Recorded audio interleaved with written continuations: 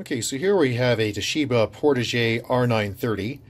Has the same keyboard as the uh, 830 and the 730, so that, that whole line. Uh, it's also the same as the Satellite series. In fact, I've ordered a replacement keyboard, and you can see this one actually says the word Satellite. So, slightly different color, same keyboard. All I can see as far as the difference goes is this uh, mouse uh, on and off, which the um, Satellite keyboard does not have. Anyway, when I say defective keyboard, that's uh, inappropriate. I think it's just a damaged keyboard from uh, being six, seven years old and having it, uh, well, just being beat up, or actually five or six years old and being beat up. So, uh, the question is how to remove this. Uh, and it is a bit ugly. These are glued in. So what you've got to do is get a pry tool, something like this, and you can see my pry tool is a bit damaged. So I've gone to, um, because this keyboard's toast anyway, I've gone to a small screwdriver. And what you do is just put it in around the edges, pry it up, and slide it along.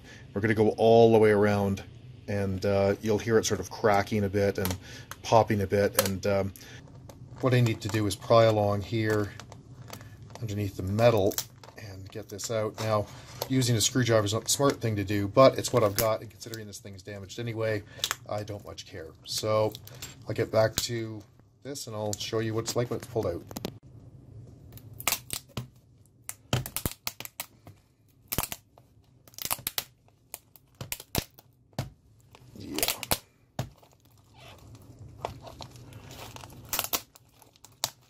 Let's see if we can see that ribbon cable.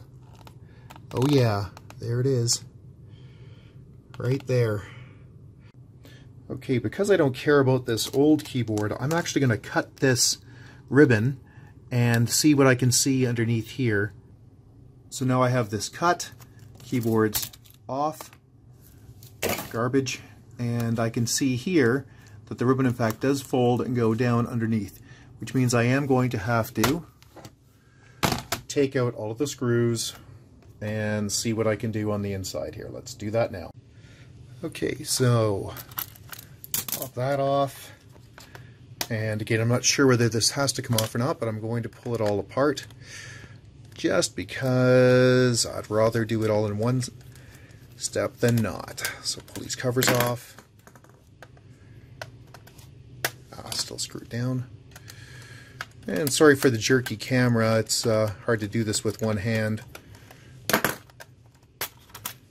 we go. Pull the disc out, pop the RAM out, and let's see where that uh, goes. See where that. See if I can find where that ribbon cable is connected to. So I just flipped it back over, and I'm just trying to get this ribbon cable loose so I can tug on it a bit and see where it's connected on the bottom. There we go. I just pulled it out, so that's a problem. you might not want to do that. So I guess that tucked back under there, and that means it goes in right there. Okay, so the ribbon cable connects right there, which means, as I suspected, I didn't have to pull the memory out, but um, yeah, let's just go into there. So it's right there. So let's just pull this old ribbon cable out because it's done now. no point worrying about it. And we'll put the new one in and see what we get.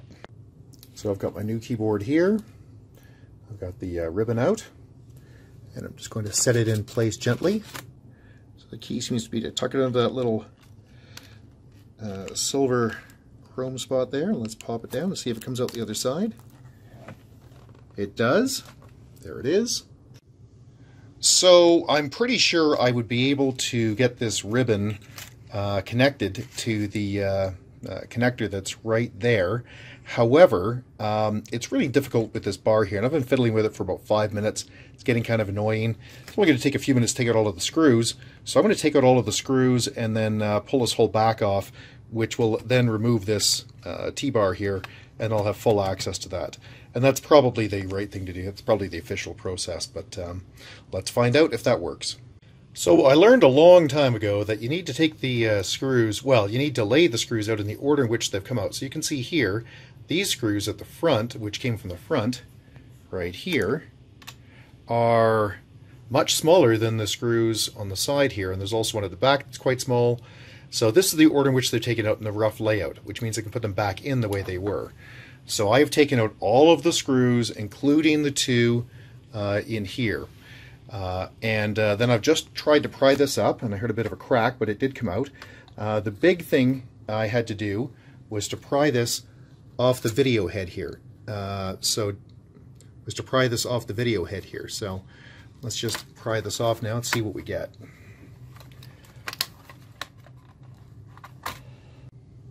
Okay, so after prying this, I've got this all apart except for right here. And what I've found is, pop out the uh, card holder, and there are two more screws in here. So I'll pull those out, and then hopefully this just falls off. Those screws are now out.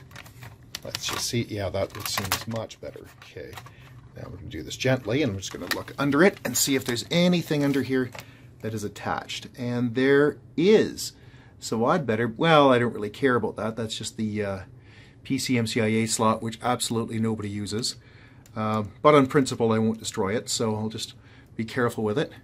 But now I can see that ribbon cable very nicely. That ribbon connects right there. Okay, so I've got the ribbon cable through, and I'm glad I pulled this apart because it's very hard to see, but basically right here there are some clips I need to just pull out. You can see that? Maybe? Very hard to see, but just trust me, it's there. There we go and then that will slide in quite nicely and then I can reassemble and be done. Sorry, I know that's almost impossible to see in there, but trust me, it's there. The ribbon's squeezing in. Go, little buddy. Squeeze in. Not quite. There it is. It's in. Now just got to squeeze those little braces down on the sides, which I just did. With one of them, can I get the other one in? Yep, there we go. So I did have to use a pry tool, in this case just a screwdriver, to really crank those little uh, push brackets back in uh, nice and tight. Uh, otherwise it was slipping back out. So at this point all we have to do is reassemble everything and I think we're on our way.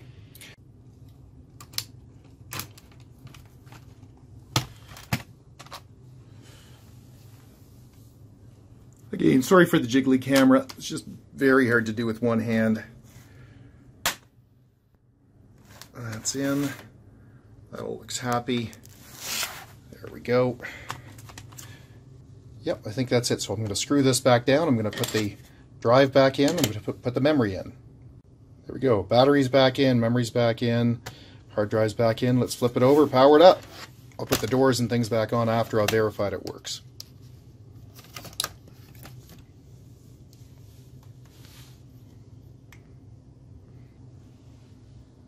There we go, Windows 10. So I haven't shorted anything out, that's a good sign. See if I can sign in. So yes, I can sign in. Keyboard's working just fine. Isn't that nice? If you have any questions, please get a hold of us at www.urtech.ca. Thank you. Have a great day. Bye-bye.